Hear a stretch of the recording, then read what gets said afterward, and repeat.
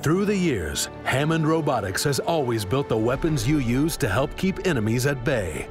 And Hammond Robotics will always develop the machines that are the cornerstones of any endeavor to keep our military safe. As the leader in the industry, we only build the best.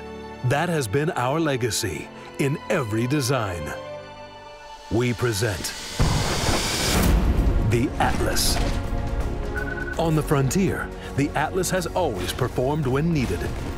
From the first conflicts to the latest deployments, the Atlas stands the test of time.